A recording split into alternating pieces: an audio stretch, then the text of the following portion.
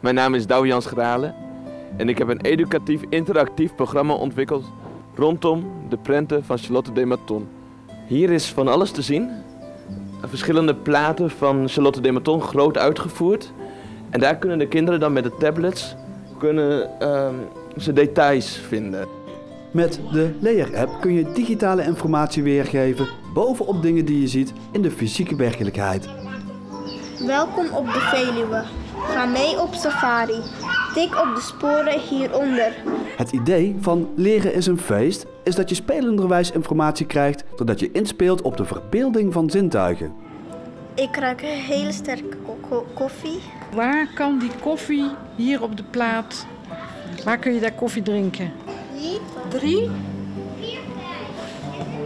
Vier. De gevonden details leveren nummers op die samen de sleutel zijn van een cijferslot van de schatkist. Een wijn van een hert. Ik kan het wel zo even instellen dat je hem wel kan lezen daar. Zal ik dat doen?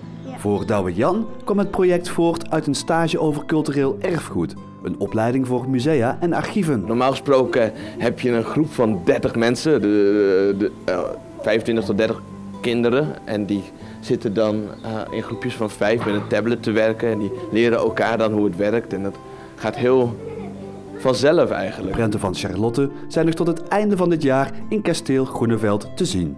Nou, eh, dit is het plaatje van een stukje van Nederland.